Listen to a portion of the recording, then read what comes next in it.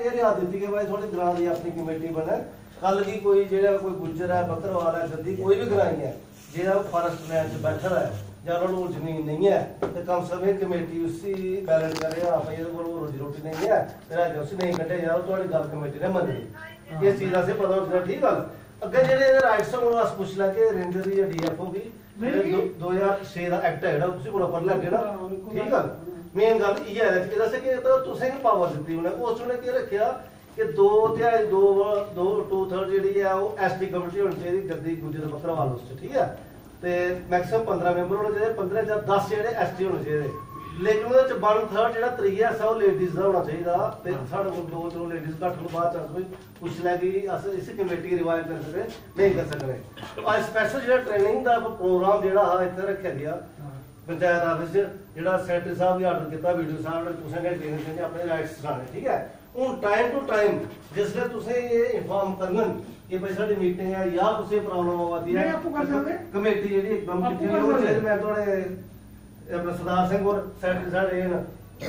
ਠੀਕ ਹੈ ਤਾਲਿਬ ਹੋਰ ਇਹ ਤੁਸੀਂ ਚੁਣੇ ਤੇ ਤਿੰਨ ਚਾਰ ਬੰਦੇ ਨਹੀਂ ਹੈ ਤੁਸੀਂ ਸਹਿਮਤੀ ਸਾਰੇ ਹੈ ਨਾ ਠੀਕ ਹੈ ਜਿਹੜੇ ਚੁਣੇ ਐਸੇ ਕੋਈ ਉਹਦੇ ਚ ਆਬਜੈਕਸ਼ਨ ਨਹੀਂ ਨਾ ਕੋਈ ਠੀਕ ਹੈ ਗੱਲ ਇਸ ਵਾਸਤੇ ਕਰੇ ਕਿ ਤੁਸੀਂ ਐਫਆਰਸੀ ਦਾ ਕੰਮ ਨਹੀਂ ਕਰਨਾ ਹੋਰ ਵੀ ਗ੍ਰਾਂ ਦਾ ਕੰਮ ਕਰਨਾ ਤੁਸੀਂ ਗ੍ਰਾਈ ਨੂੰ ਆਪਣੇ ਤੇ ਠੀਕ ਹੈ ਗੱਲ ਇਹਦੇ ਕਸੇ ਕਮੇਟੀ ਨੂੰ ਕਾਮਯਾਬ ਹੋਣਾ ਜੇ ਸਾਡੀ ਗੱਲ ਹੋਈ ਨਰੇਗਾ ਕਾਰਡ ਦੀ, ਠੀਕ ਹੈ ਨਵੇਂ ਕਾਰਡ ਬਣਾਣੇ ਤੇ ਜਿਹੜੇ ਤੋਂ ਰੋਲ ਕਾਰਡ ਹੈ ਤਿੰਨ ਤਿੰਨ ਚਾਰ ਚਾਰ ਕਾਰਡ ਜੋ ਕਮ ਸੇ ਕਮ ਹੈ 70 80 ਕਾਰਡ ਹੋਣ ਤੇ ਸ਼ੋਗੋ ਨੇ ਜਿਹੜਾ ਅਹ, ਆਪਣਾ ਪੰਚਾਇਤ ਦਾ ਕੰਮ ਸ਼ੁਰੂ ਕਰ ਠੀਕ ਗੱਲ ਜੀ ਇਹ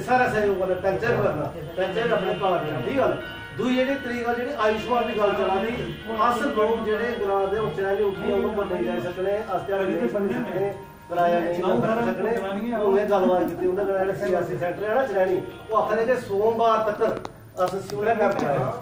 ਸੋਮਵਾਰ ਦਾ ਬਾਅਦ ਤੁਸੀਂ ਸੌਂਡੇ ਦੀ ਡੇਟ ਜਿਹੜੀ ਨਸੂਦ ਹੋਣੇ ਦਾ ਅਸੀਂ ਕੰਮ ਕਰਕੇ ਦੋ ਤਿੰਨ ਦਿਨ ਥੋੜਾ ਪਹਿਲਾਂ ਡੇਟ ਲੈ ਲਾਂਗੇ। ਇੱਕ ਡੇਟ ਫਿਕਸ ਕਰਕੇ ਸੈਂਟਰ ਪੁਆਇੰਟ ਲਿਖ ਲਾਂਗੇ ਤੇ ਸਾਰੇ ਥੋੜੇ ਕੰਮ ਸੇ ਉਸ ਮੈਕਸਿਮਮ ਅਸਲ ਦਾ ਪਰਸੈਂਟ ਜਿਹੜਾ ਉਸ ਦਾ ਕਰੋ ਚੈੱਕ ਕੀ ਕੰਮ ਸੇ ਟੈਨਸ਼ਨ ਸਾਰੇ ਦੂਰ ਹੋਇਆ। ਠੀਕ ਹੈ ਪਹਿਲਾਂ ਕੋਲ ਗੋਲੀਆਂ ਕਾਰਡ ਬੰਦੇ ਗਿਆ ਸਾਡੇ ਬਣੇ ਨਹੀਂ ਜਿਹੜੇ ਕਿ ਨਹੀਂ ਬਣੇ ਨਾ ਮੁਸ਼ਕਿਲ ਹੈ ਨਾ। ਇਸ ਵਾਸਤੇ ਗਵਰਨਮੈਂਟ ਨੇ ਆਰਡਰ ਕੀਤਾ ਦਾ ਸਮਾਜ ਜਿਹੜੇ ਸਾਰੇ ਬਣੀਆਂ ਨੇ। ਸਾਰੇ ਬਣੀਆਂ ਨੇ ਉਹਦੇ ਚ ਕੀ ਹੈ ਕਿ 5 ਲੱਖ ਦਾ ਜਿਹੜਾ ਟ੍ਰੀਟਮੈਂਟ ਦਾ ਖਰਚਾ ਇੱਕ ਫੈਮਿਲੀ ਦਾ ਟਰਸਟ ਕਾਰਡ ਉੱਪਰ